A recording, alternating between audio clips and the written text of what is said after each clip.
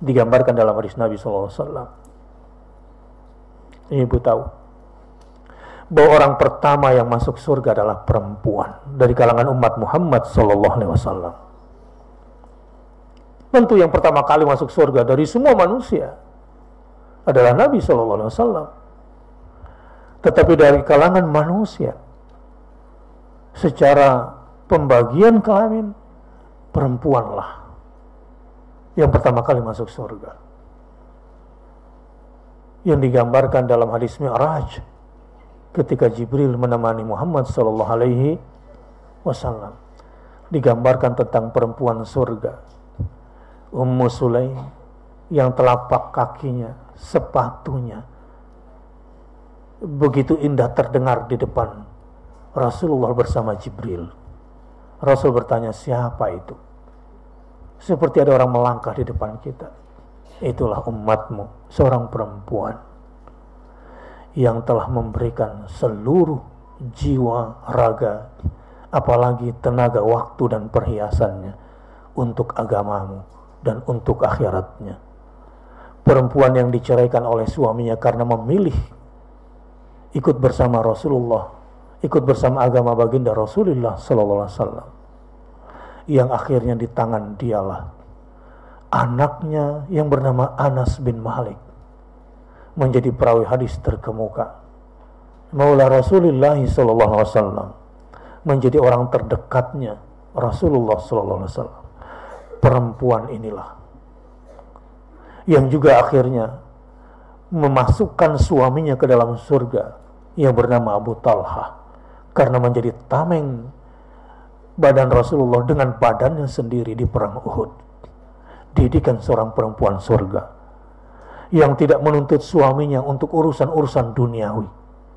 Yang sering marah dan kesal sama suaminya karena urusan-urusan duniawi. Yang tidak suka mencibir dan menjelek-jelekan suaminya karena urusan dunia yang tidak terpenuhi. Ummu Sulaim. Bahkan ketika seorang pemuda melamar dirinya sebagai seorang janda. Berulang-ulang. Dia katakan maharmu adalah bersaksilah kepada Allah dan kepada Muhammad. Asyhadu an la ilaha illallah wa asyhadu anna muhammadar rasulullah. Kalau itu sudah kau lakukan demi Allah saya tidak akan pernah minta apa-apa lagi darimu setelah ini Kenapa begitu tegar perempuan surga ini? Adalah karena akhirat begitu jelas di depan matanya. Saya jadi teringat Abu Ubaidah al-Jarrah. Dialah laki-laki yang disebutkan oleh Rasulullah SAW likum likulli ummatin aminuha wa aminu hadhil ummah Abu Ubaidah al-Jarrah. Orang yang menjadi panglima tertinggi dalam membebaskan Baitul Maqdis dan membentengi Baitul Maqdis sampai akhir hayatnya tidak ada sedikit pun terbetik di dalamnya di dalam benaknya untuk menjadi pejabat.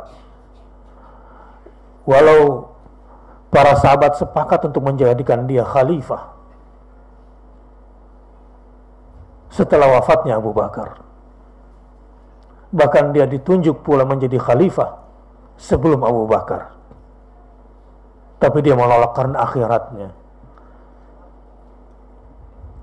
Ibu-ibu sekalian, sampai hampir lupa pada dunia itu Abu Ubaidah al-Jarrah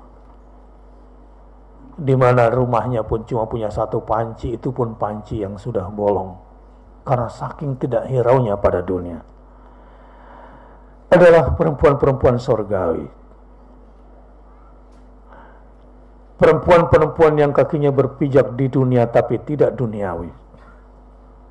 Perempuan-perempuan yang kakinya masih di dunia tapi raganya dan jiwanya seperti tak sabar untuk segera terbang ke surganya Allah di akhirat kelak.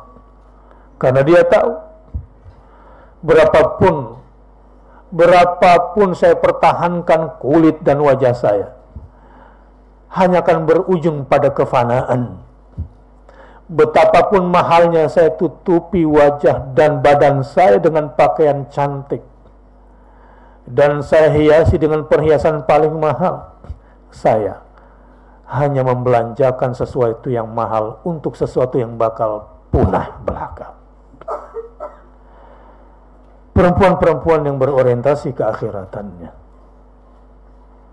adalah orang-orang yang sudah selesai dengan urusan diri dan dunianya. Selesai sudah dengan urusan diri dan dunianya. Sangat ke akhirat. Tidak. Tidak pernah dia dirundung kegalauan akibat urusan keduniaan. Bahkan orang-orang yang dicintai pun berani ditinggalkan kapan saja. Karena dia tahu sekecil-kecil nikmat di sorga khairun minat dunya wa ma fiha. Sesedikit-sedikitnya nikmat di sorga sependek-pendeknya kenikmatan dirasakan di sorga khairun minat dunya wa ma fiha. Lebih baik daripada dunia dan semua isinya begitu konkret akhirat itu di benaknya sampai dia berani mengatakan itu seperti digambarkan oleh Rasulullah SAW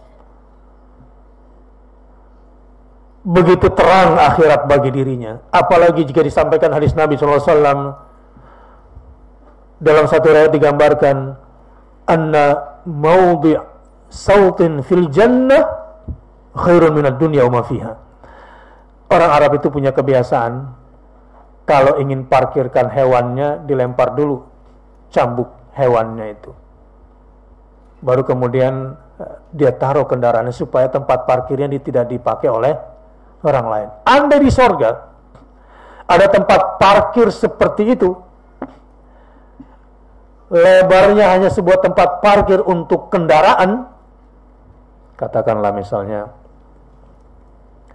punya tanah hanya seukuran tempat parkir di surga khairun minad dunia wa ma fiha lebih baik daripada dunia dan seisinya andai kau kuasai semuanya itu Terus kalau parkir mau lama di situ. Sebentar kan?